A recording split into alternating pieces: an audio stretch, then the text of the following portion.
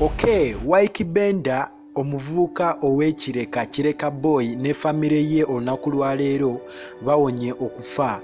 Bagudde ku kabenje they almost died but thank god bawonye. Agamba atya eyekumidde ku mukutu isaac tv 256 aga amawulire ge ngenda obeera nga nkutuusaako if you were passing by please subscribe onto my channel isaac tv 256 wogenda okubeera nga ofuna amawulire ageesigika ate era agaakagwawo anyway nze isaac kankutuuseko eno emboozi eya wike benda today's morning singa kati tuli, kum, tuli, tuli singa kati mbatuusaako amawulire ag'ennaku naye mukama mukama ye waali nnyo okutukuuma.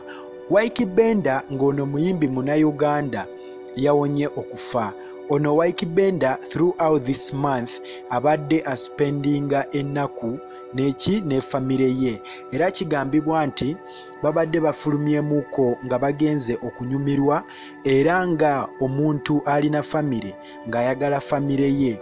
He decided to, to take his wife together with his child dante okubeera nga batambula muko.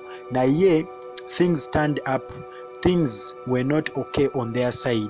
On their way nga bavuga emotoka yaabwe sort of bens white in color mm, almost grey but white. Okay kale eri awo as you have been seeing the, the footage or the images of the, of the accident wike bender ne bafuna akabenje. While, he, while they were in that car era n'afuna akabenje the whole of his face it's hard to recognize that this is the voice of tender. This is the man behind songs like superman behind songs like my bay.